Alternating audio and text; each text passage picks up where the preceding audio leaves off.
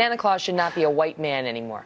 And when I mm-hmm. saw this headline, I kind of laughed and I said, oh, this is so ridiculous. Yet another person claiming it's racist to have a white Santa, you know? And by the way, for all you kids watching at home, Santa just is white, but this person is just arguing that, that maybe we should, we should also have a black Santa. But, you know, Santa is what he is, and just so you know, we're just mm-hmm. debating this because someone wrote about it, kids.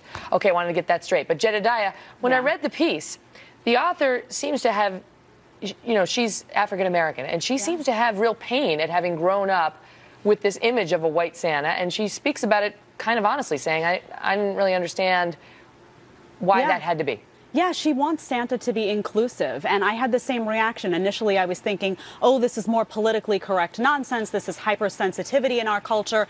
And then you read the piece and you really walk through the steps with her. I think it's a tribute to her writing.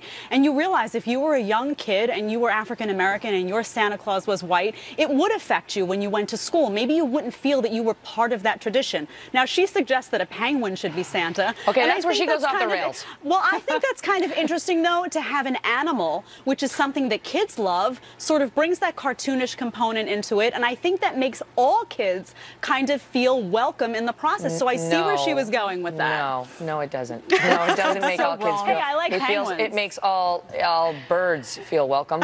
Uh, um, kids Monica, like penguins. You know, it, but on, okay, so that so I've given her name is Aisha Harris. I've given her mm-hmm. her you know her due on where she was going with it, but just because it makes you feel uncomfortable doesn't mean it has to change. You know, I mean, yeah. Jesus was a white man too, but you, you know, it's like we have, he was a historical figure. I mean, that's a verifiable fact, as is Santa. I just want right. the kids watching to know that.